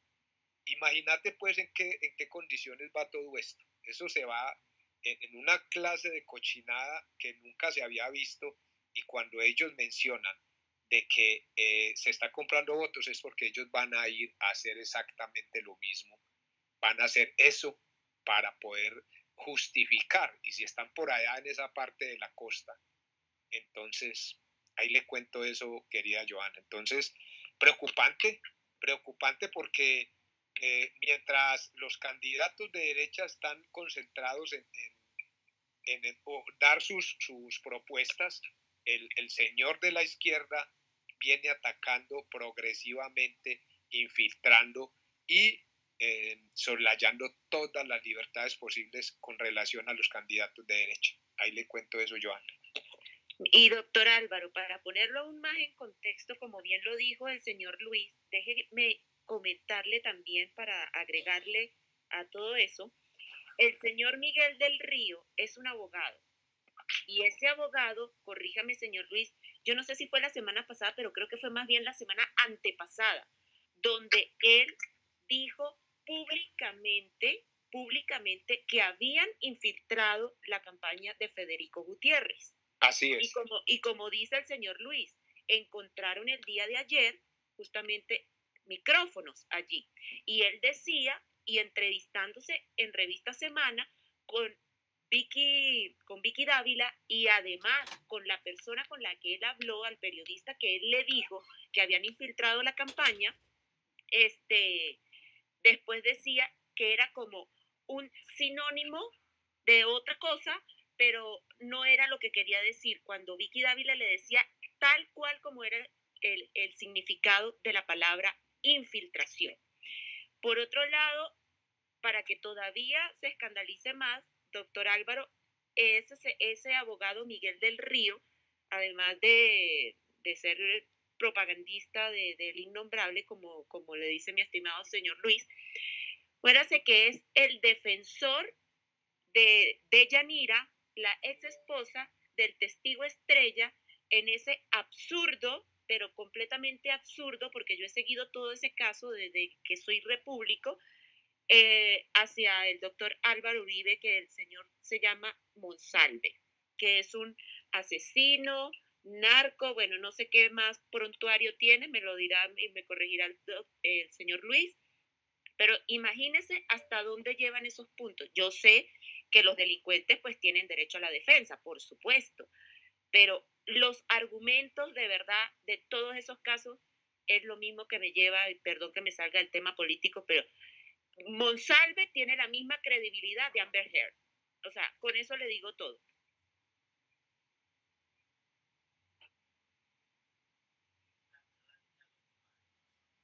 Doctor Álvaro.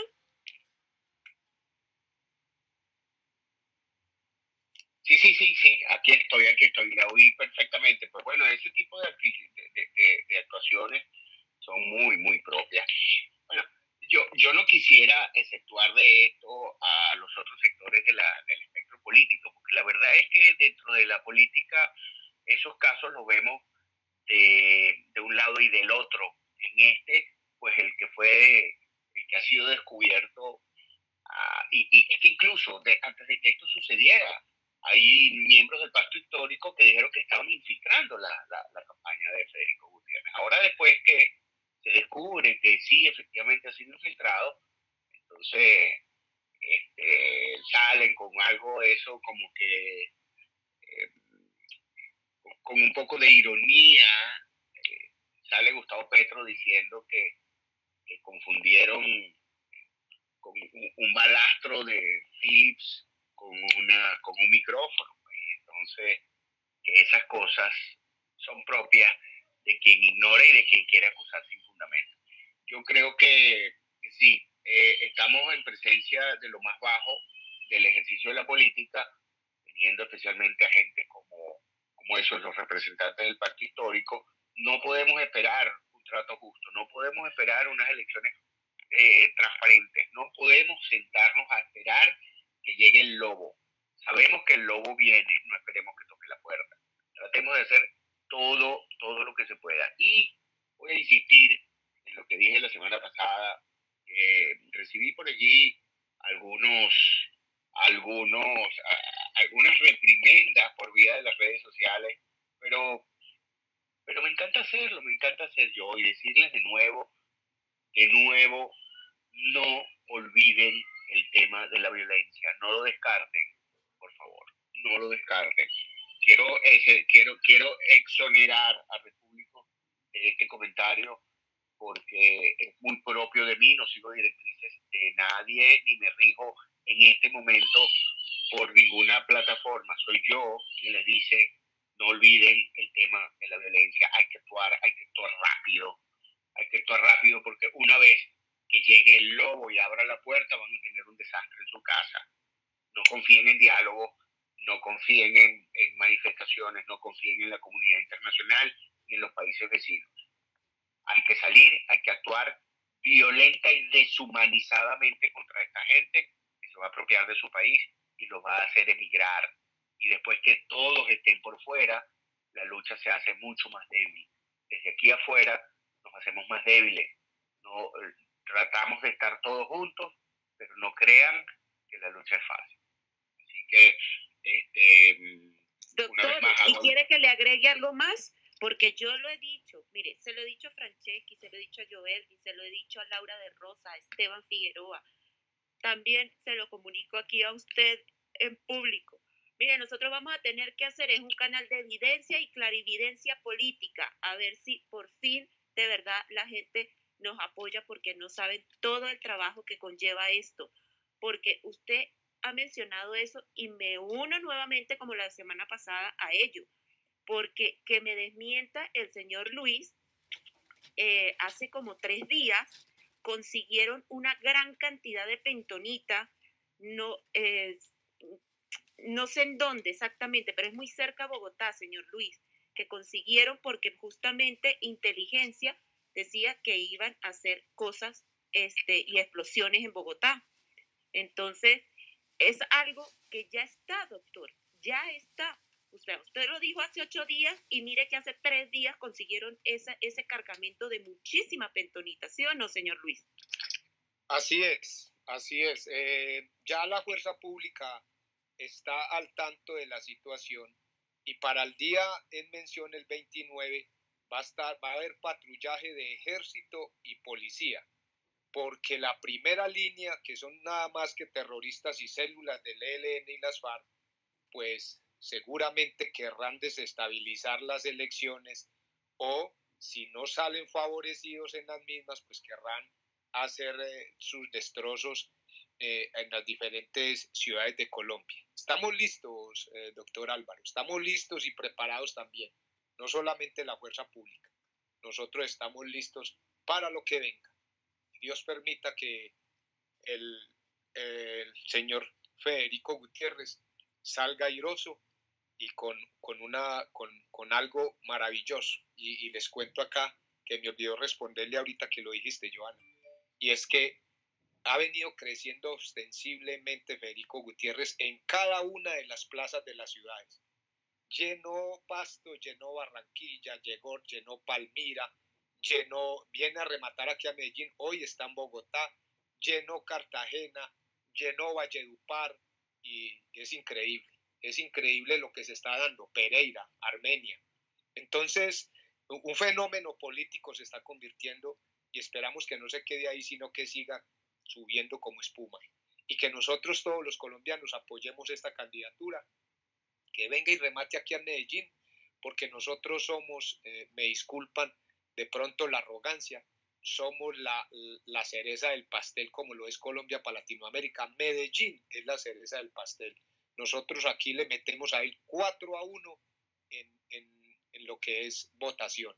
Entonces, por eso ellos quieren infiltrar aquí con ese, con ese alcalde que fue suspendido, ese Daniel Quintero, porque querían comenzar a hacer trabajos desde ya en Medellín. Se jodieron.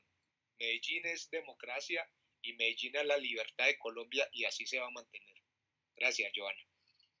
Gracias. Bueno, doctor Álvaro, ya estamos cerrando, lastimosamente de verdad no, no tenemos tiempo para, para poder invitar y quitar el modo radio, así que de verdad esperemos que la próxima semana pues sea un poco menos largo lo de nosotros para poder abrir micrófonos. Así que tiene el testigo, doctor Álvaro.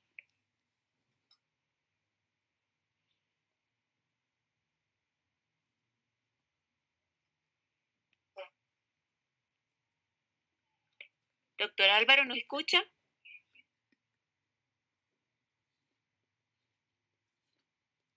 Bueno, no sé si el doctor Álvaro regresa ahí. Yo sí quería decirte, Joana, muchísimas gracias, en verdad, al doctor Álvaro, al doctor Franceschi y a los amigos que nos acompañaron hoy. Lastimosamente coincidió con, lo del caso del, registrador, pero seguramente eh, vamos a estar en la próxima con mucha afluencia de, amigos que quieren, que quieren eh, los mismos conceptos y las mismas eh, voluntades y criterios que queremos para Colombia, que es nuestra libertad y conservar nuestra democracia. Gracias a ustedes, gracias por creer en nosotros, por acompañarnos, por meterse en este cuento que son los mismos cuentos de allá y de acá y son la misma democracia de allá y de acá. Somos una familia y en ese mismo sentido nos queremos conservar. Muchísimas gracias, Joana. Álvaro, muchísimas gracias y amigos los que escuchan.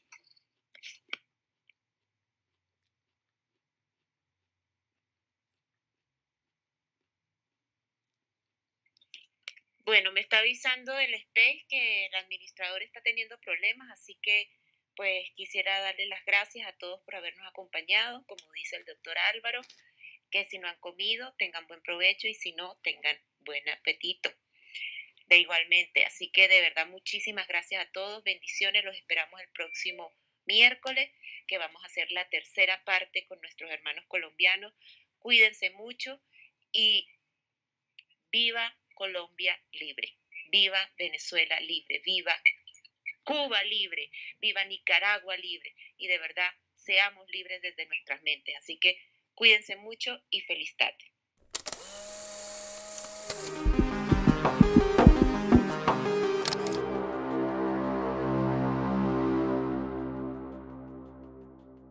Participantes de este programa se hacen responsables de sus declaraciones y opiniones emitidas durante la transmisión. Con el apoyo de ustedes en Patreon, nos ayudan a seguir creando contenidos en los canales Repúblicos TV, Alberto Franceschi González y a fortalecer el movimiento Repúblicos. Los invitamos a que se suscriban. patreon.com barra repúblicos.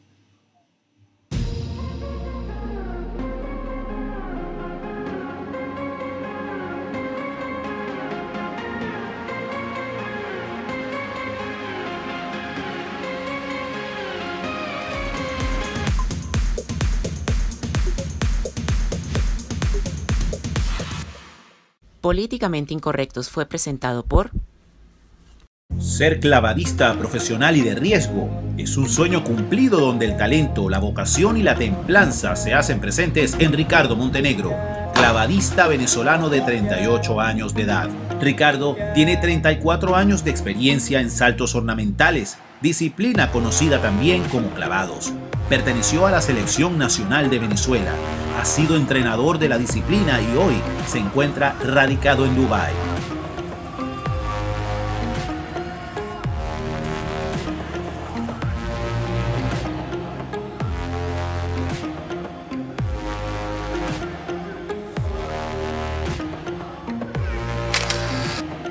Los shows acrobáticos y artísticos que realiza Ricardo por el mundo son su pasión y espera algún día poder llevarlos a los majestuosos escenarios de su país, Venezuela. Las redes sociales de Ricardo Montenegro están en la descripción de este programa. Síguelo para que estés al tanto de su recorrido profesional.